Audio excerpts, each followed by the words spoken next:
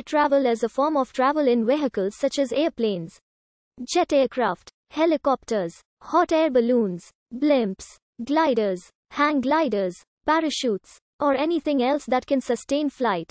Use of air travel has greatly increased in recent decades. Worldwide, it doubled between the mid 1980s and the year 2000.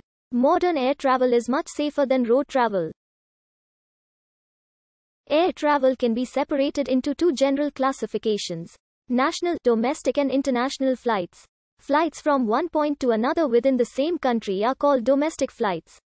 Flights from a point in one country to a point within a different country are known as international flights. Travelers can use domestic or international flights in either private or public travel. Travel class on an airplane is usually split into a 2, 3 or 4 class model service. US domestic flights usually have two classes, economy class and a domestic first class partitioned into cabins. International flights may have up to four classes, economy class, premium economy, business class or club class, and first class. Most air travel starts and ends at a commercial airport. The typical procedure is check-in, border control, airport security baggage and passenger check before entering the gate, boarding, flying, and pickup of luggage and limited to international flights, another border control at the host country's border. For longer journeys, air travel may consist of several flights with a layover in between. The number of layovers often depends on the number of hub airports the journey is routed through. Airlines rely either on the point-to-point model or the spoke and hub model to operate flights in between airports. The point-to-point model, often used by low-cost carriers such as Southwest, relies on scheduling flights directly between destination airports. The spoke and hub model, used by carriers such as American and Delta, relies on scheduling flights to and from hub airports. The hub and spoke model allows airlines to connect more destinations and provide more frequent routes, while the point to point system allows airlines to avoid layovers and have more cost effective operations.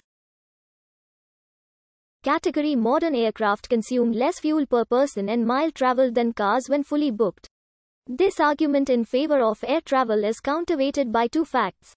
Instead, the scheduled flights are predominant, resulting in a far worse fuel efficiency. According to the ATAG, flights produced 781 million tons of the greenhouse gas CO2 in 2015 globally, as compared to an estimated total of 36 billion tons anthropogenic CO2. Carbon offset is often proposed as a solution to mitigate the CO2 emissions of flying.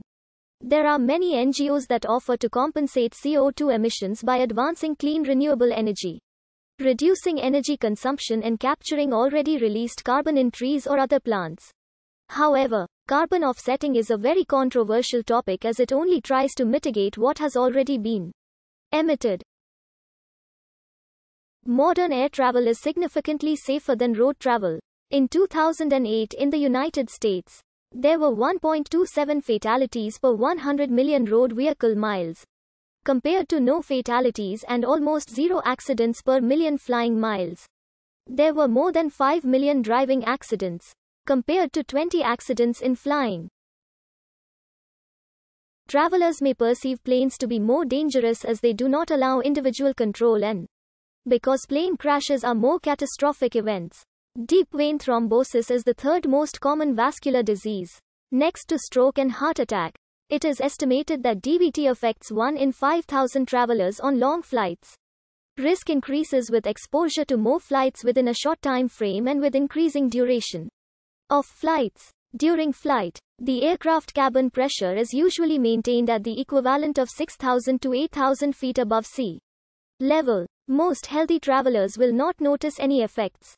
However, for travelers with cardiopulmonary diseases, cerebrovascular disease, anemia, or sickle cell disease. Conditions in an aircraft can exacerbate underlying medical conditions.